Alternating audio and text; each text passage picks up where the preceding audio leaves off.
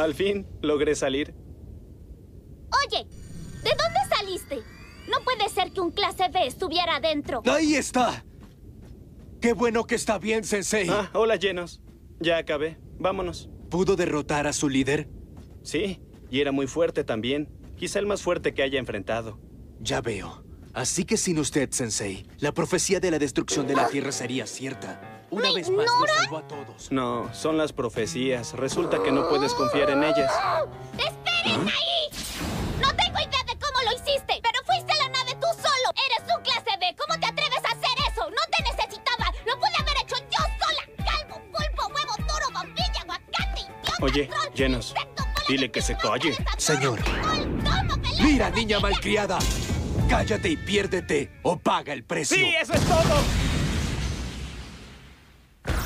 Imperdonable. Así que una niña, ¿eh? Soy más grande que tú, idiota metálico. ¡Ah, llenos! Sigues tú, calvito clase P.